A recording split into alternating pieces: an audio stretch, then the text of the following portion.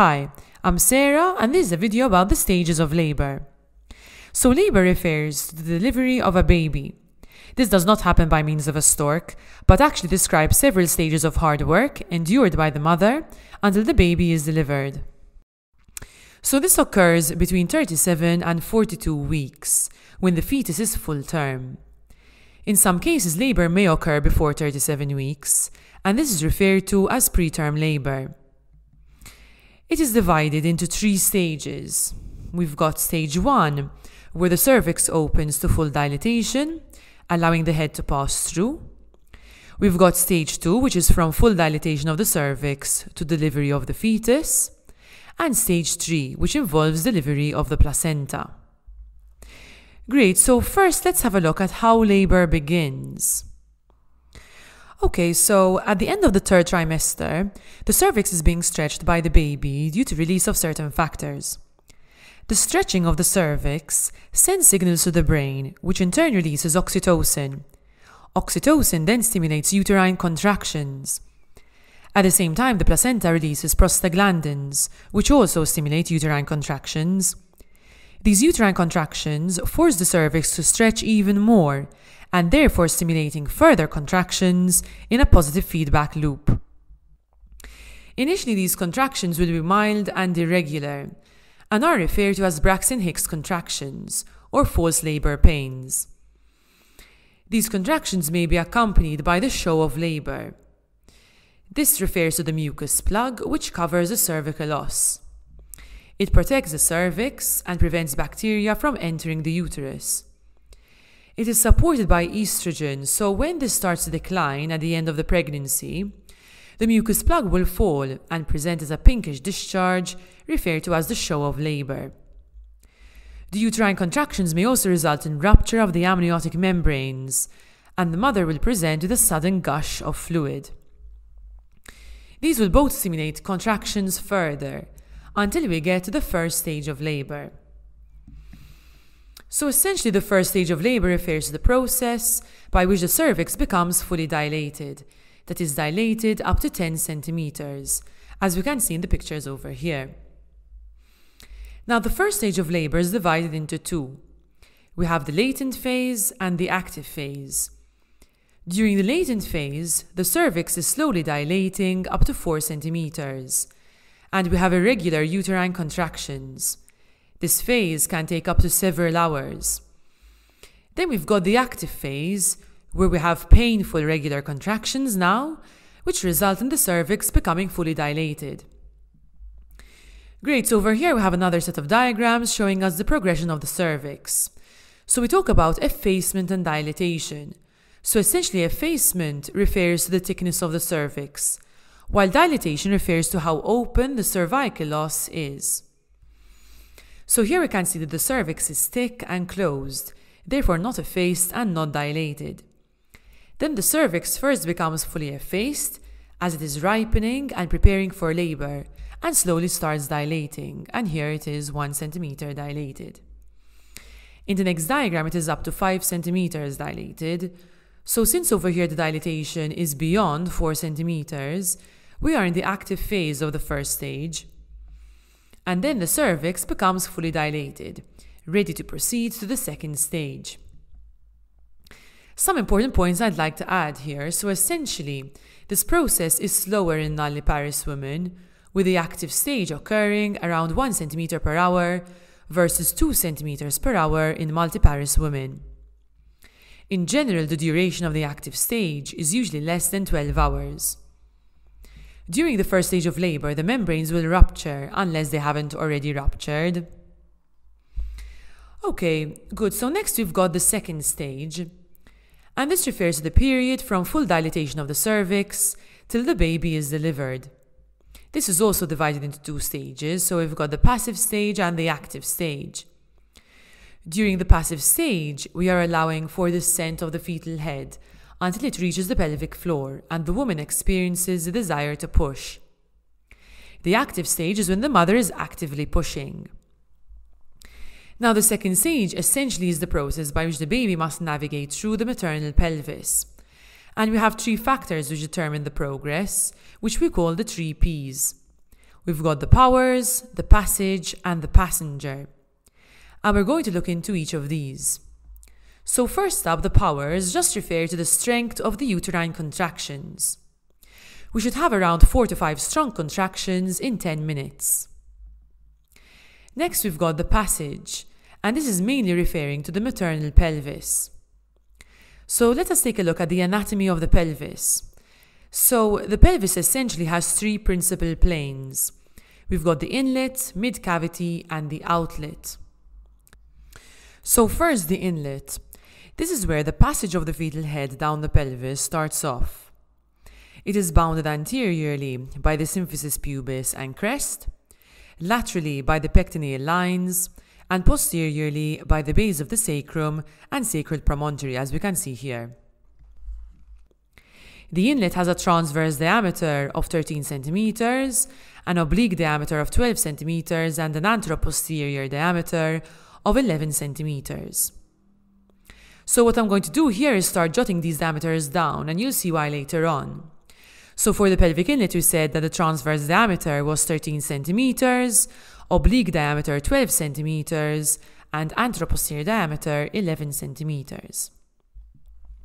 So next, moving on to the mid cavity.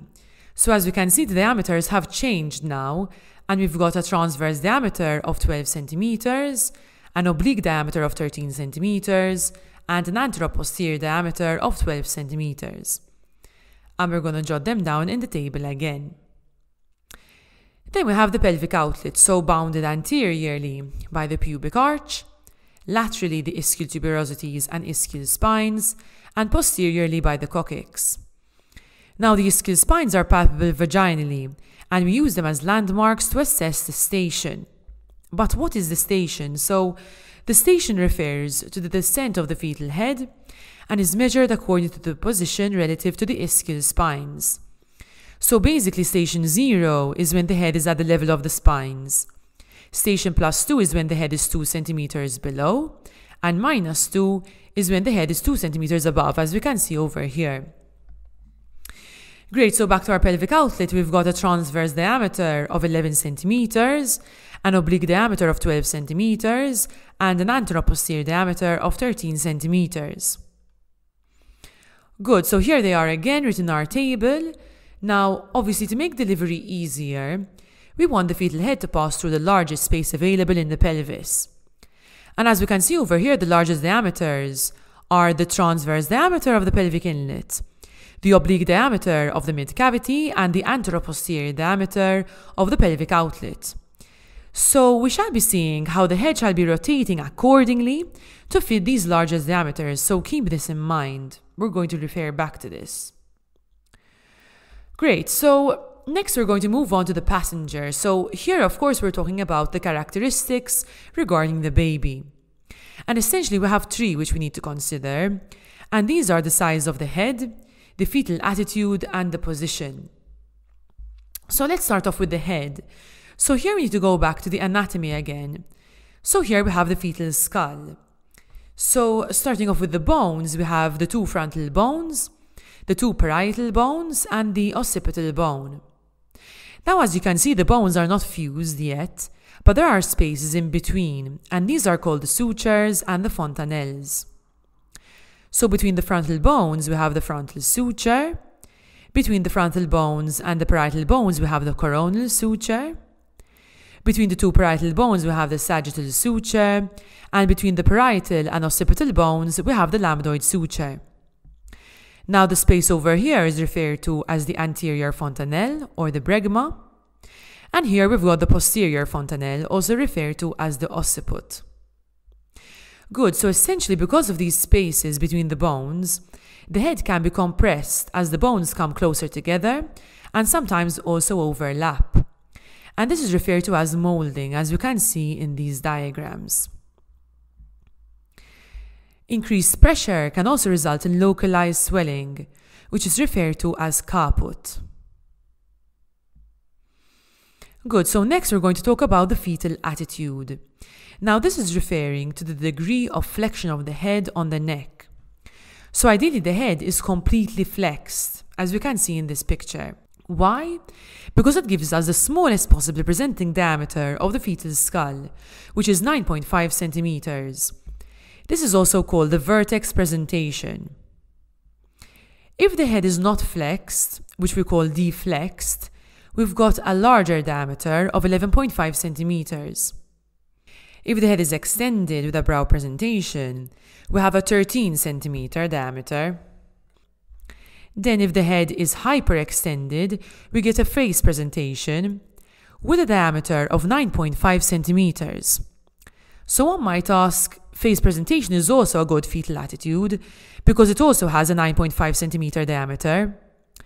The problem is that as we're going to see soon, when the head is being delivered, one of the maneuvers used to exit out of the pelvis is extension.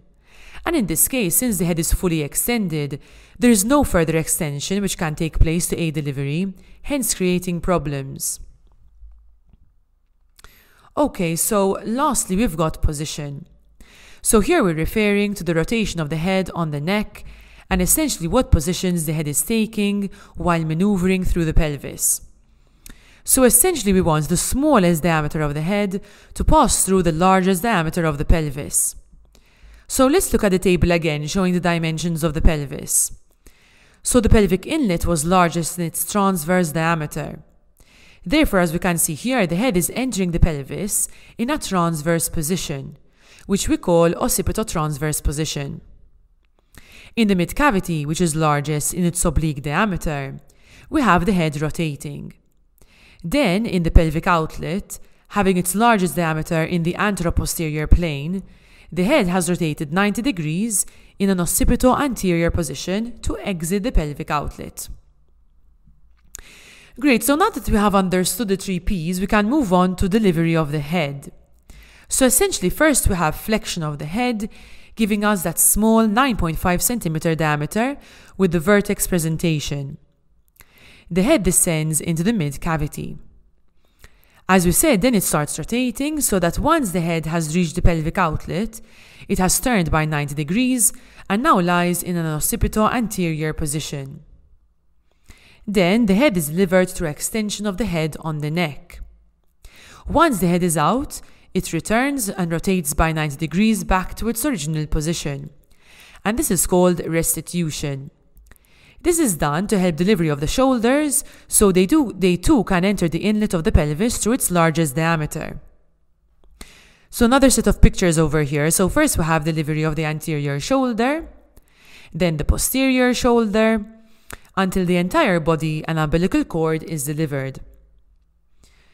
And that is the end of the second stage. So now we have the third stage, which refers to the delivery of the placenta. It usually lasts about 15 minutes, and normal blood loss is up to 500 mils. And that is the end of labour. I hope that this video was helpful. Thank you.